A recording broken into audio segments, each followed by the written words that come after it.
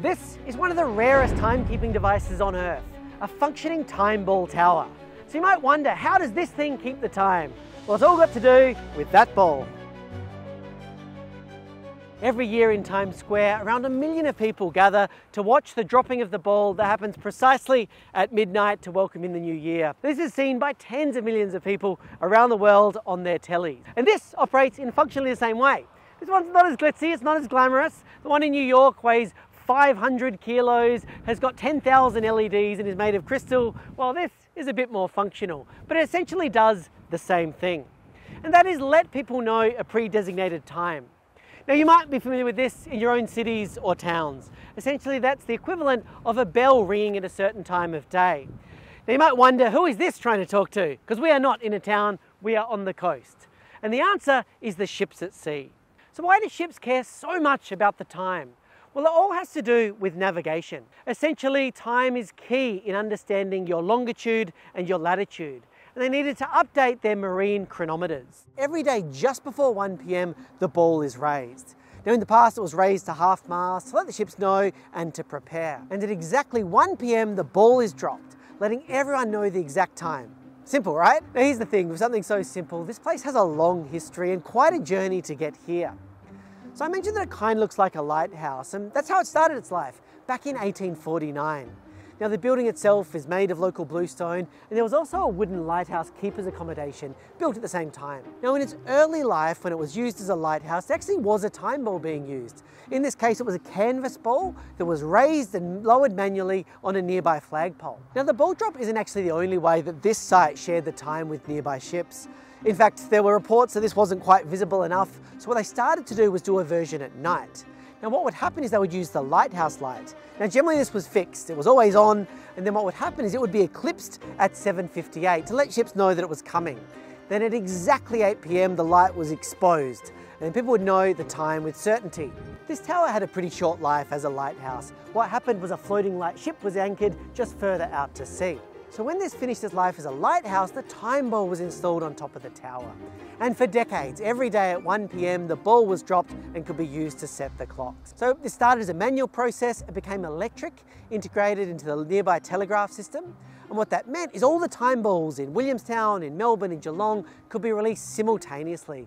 And it was done within less than 1 120th of a second of error. The time ball was dropped for decades until the 1920s. And for 37 years, it was one timekeeper who was responsible for this, a retired able seaman R.T. Vaughan. Now, he really single handedly kept this going until he tragically passed away from pneumonia.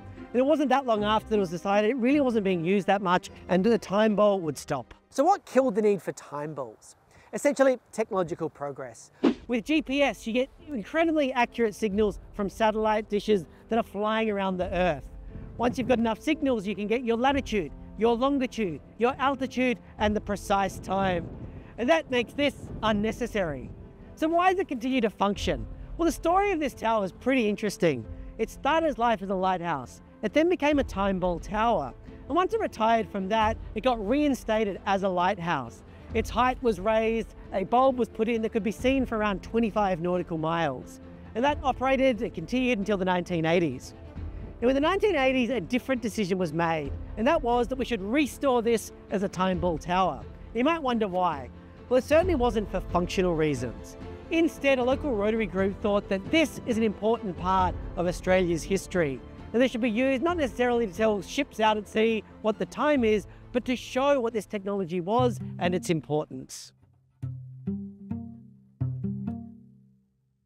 So my name is Claire. I'm a ranger at Parks Victoria, um, and we manage Point Gellibrand Coastal Heritage Park, which is where we are, and that's home to the Time Ball Tower. And your role at Parks Vic is, and what does it involve? Our team manage a lot of the on-water stuff, so piers and jetties, navigation aids, as well as marine sanctuaries. And we have a few uh, land passes as well. And had you ever heard of a time ball tower before this one? Um, so I grew up in Williamstown. Yeah. Um, so we've been learning about yeah. the Williamstown Time Ball Tower since I was a little kid. So you've seen this as a kid, an important part of Williamstown, and now you're responsible for maintaining it. Yeah, it's pretty cool. It's That's pretty, really cool. Pretty special place.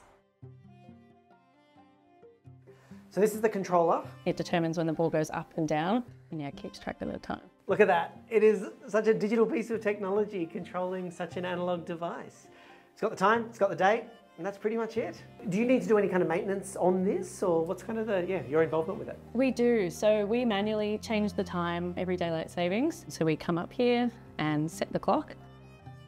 This is the top of the Time Ball Tower. You can see that right above our heads is where the kind of magic happens every day at one o'clock. This is the cable. This is the kind of piece that does everything it needs to do, winching it up and releasing it. Uh, we've got some of the historic uh, equipment still up here. One of the main design features is of course the height. So high enough that it can be seen from ships off the coast um, and hopefully you can see it in good weather as well. So in one sense it's a fairly simple, elegant and quite you know, straightforward design and in one sense so incredibly important.